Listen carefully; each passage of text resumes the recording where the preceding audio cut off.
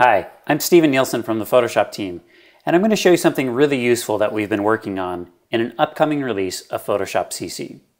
A common scenario when cropping a photo is that you need to straighten the horizon. I'm going to select the crop tool, click straighten, and draw out the horizon here. Now you'll notice that Photoshop automatically fits the edges of the photo inside the original area. This prevents you from ending up with some blank white areas after rotating, but unfortunately, it cuts off part of the lifeguard sign.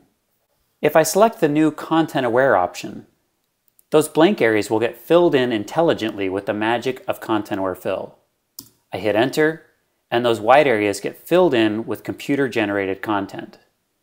This allows you to straighten your photos without cutting off important areas.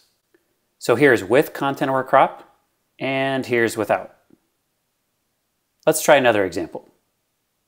Again, I'm going to click Straighten, draw out the horizon, and with Content Aware checked, the areas in white will automatically get filled in for me. But let's say that in this example, I want more of these rocks here at the bottom. I can simply drag the bottom of the crop box down, revealing more white space. I hit enter, and all of it gets filled in magically for me. Again, here is with Content Aware Crop, and here is without.